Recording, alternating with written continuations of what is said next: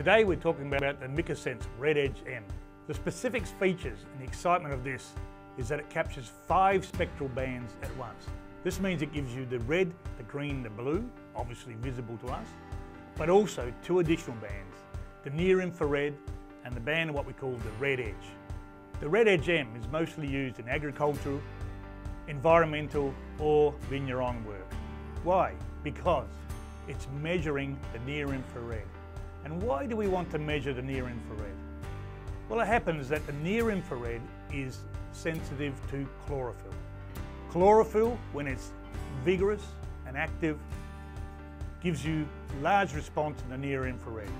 Chlorophyll is directly related to health and vigour of a plant.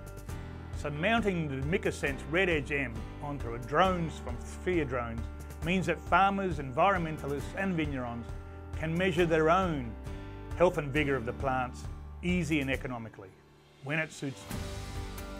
As always, if you've got any more questions about any of our products, please head to our website www.spheredrones.com.au